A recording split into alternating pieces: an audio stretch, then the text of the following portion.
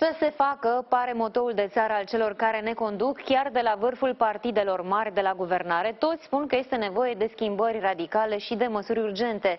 Se vorbește despre renunțarea la angajații de la stat pentru un aparat bugetar mai simplu, se aruncă termeni precum regionalizare și se cere economie prin renunțarea la pensiile speciale. Toate aceste probleme spinoase apar în discursurile politice, doar că, în realitate, par aproape imposibil de aplicat. Oameni buni, ne trebuie un aparat bugetar mai suplu. Asta nu înseamnă că noi am venit acum și vom da oamenii afară. Asta înseamnă că în administrațiile locale, în administrațiile centrale, trebuie să rămână oamenii buni. Trebuie să rămână oamenii care înțeleg ce rol au în acele administrații și pe cine reprezintă.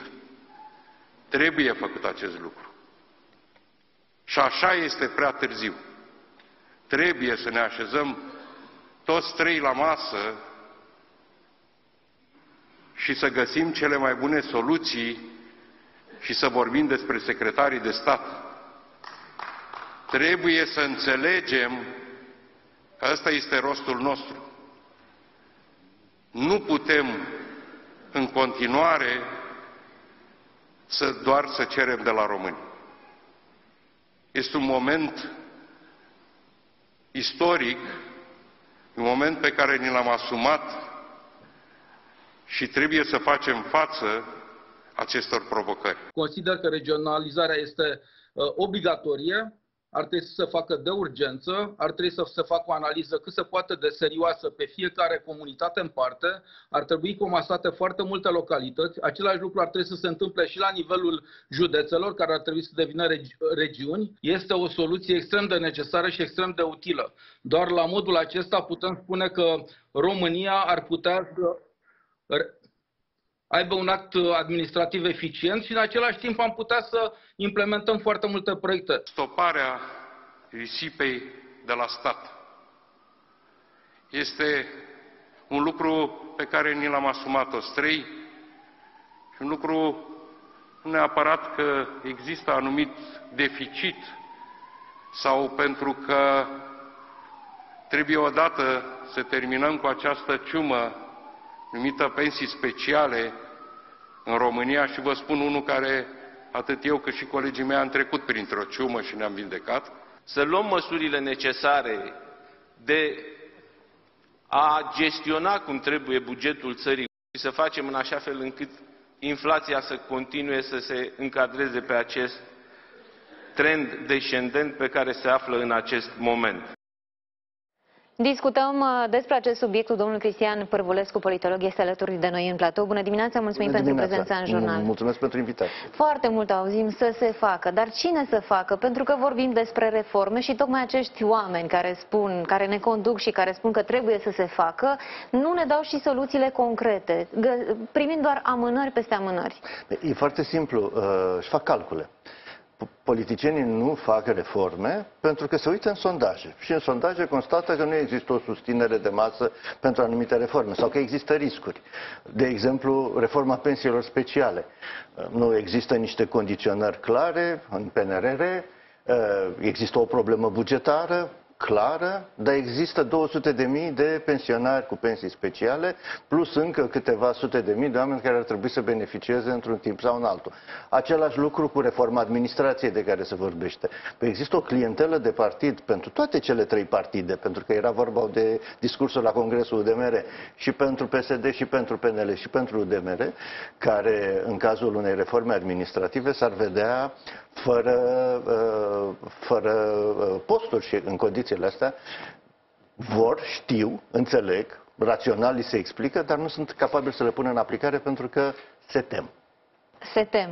Se tem. Uh, urmează un an electoral, urmează exact alegeri și voiam să vă întreb cât la sută din aceste decizii care se iau în acest moment sunt pentru oameni și pentru binele locuitorilor acestei țări și cât la sută pentru imagine, pentru ceea ce dă bine în rândul alegătorilor pentru anul care urmează?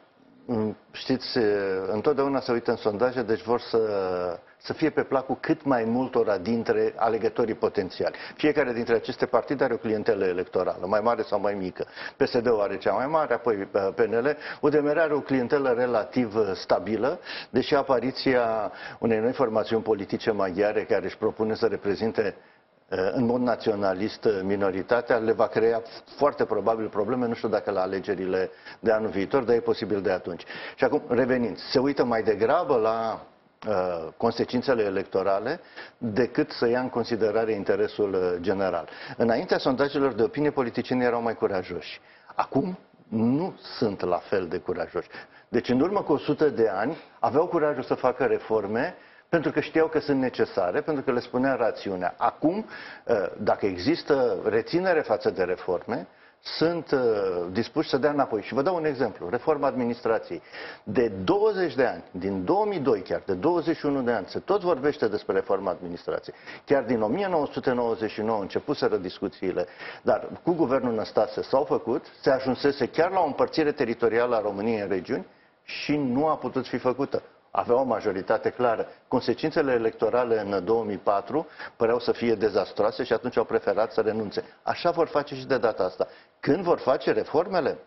Dacă vor să le facă, după alegerile de anul viitor. Însă nu ține cu pensiile. Dacă nu o fac cu pensiile acum, ă, nu vom mai avea miliarde de euro care vin pe PNRR.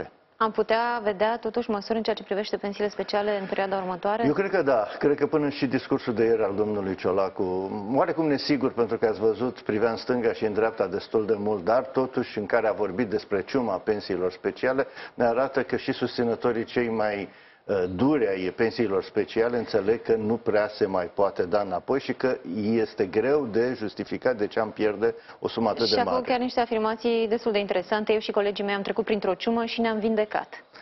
Da, acum Sau... e vorba despre pandemie, e vorba despre uh, ciuma roșie, exact. Uh, ne întrebăm și noi despre exact. la ce ciumă se referă domnul uh, președinte al PSD, Ciolacu, dar uh, până una alta, uh, dacă s-au vindecat, e bine, e un lucru îmbucurător, o să vedem însă, pentru că dumneavoastră ați spus întrebarea, dar le vor face. Uh, sunt riscuri electorale. Există un risc serios ca voturile acestea, voturi de protest, să treacă către partidele antisistem și în special către aur. De asta se tem și de asta sunt destul de îndoiți. Dar și dacă nu vor face, se va întâmpla același lucru pentru că situația economică se va înrăutăți. Deci nu prea au alternativă. Tot domnul Ciolacu spunea că ne trebuie un aparat bugetar mai suplu și că asta nu înseamnă că vor fi dați oameni afară. În administrație trebuie să rămână cei buni. Și am discutat de nenumărate ori despre eficiența oamenilor din sistem și despre faptul că în multe instituții publice există oameni care nu-și fac treaba. Asta nu înseamnă că e totul general, sunt oameni uh, care își fac treaba foarte bine, dar la, uh, în foarte multe instituții sunt oameni care nu prea știu ce au de făcut sau nu-și fac treaba așa cum ar trebui. Problema este și cele două partide, cele trei partide care se află acum la guvernare au colaborat de multă vreme în această direcție, politizarea. Faptul că loialitatea de partid asigură un post în uh, administrația publică care nu este dublat de competență. Sigur, pot să formezi oamenii, dar nu sunt nici măcar formați pentru că loialitatea față de partid este mai importantă decât competența. Și atunci ajungem să marginalizăm și excludem persoanele care nu au protecție politică, dar care sunt capabile. De multe ori preferă, dacă au posibilitatea, să plece în sectorul privat sau la instituțiile europene, pentru că acolo sunt apreciate. Iar în România scade competența administrativă și ăsta este unul din motivele pentru care noi nu reușim chiar dacă bifăm diferitele jaloane din PNRR sau din uh, diferitele proiecte europene, nu reușim să le ducem până la capăt. Pentru că avem nevoie de personal competent. Funcționarii sunt necesari. Se formează greu, se formează în timp. Uh, și uh, cei poli... nu e o problemă doar a României, e o problemă generală, dar în România pare să fie mai gravă decât în altă parte. Numai că e contradictorie afirmația domnului Ciolacu. Spune că trebuie un aparat mai suplu, dar nu poate să fie nimeni dat afară. Păi cum va deveni suplu? Uh, de exemplu, nemai făcând angajări la stat în perioada următoare, E greu de crezut că se va întâmpla lucrul ăsta. Pe de altă parte, este ceva ce declară permanent, nu vom face reforme care să ducă la austeritate. Eh, ca să nu facă reformele care să ducă la austeritate, trebuie să facă reformele acestea. Pensiile, pensiile speciale, regimul de pensii și salariile. De care tot fug. Da, pe, pentru că, uh, vedeți, sunt înaintea alegerilor. Și ele nu pot să nu creeze nemulțumiri. Uh, uh, Domnul Ciolacu, din câte știu, se uită foarte mult la ce se întâmplă în Franța. Ori în Franța ați văzut ce nemulțumiri a, a, a produs o, o lege a pensiilor care a disfințat pensiile speciale. 42 de regimuri de pensii speciale desfințate în Franța. În România vorbim de mai puține regimuri de pensii speciale, dar de oameni influenți. Vom vedea. Mulțumim tare mult pentru prezența Mulțumesc și noastră eu pentru pentru analiză. invitație.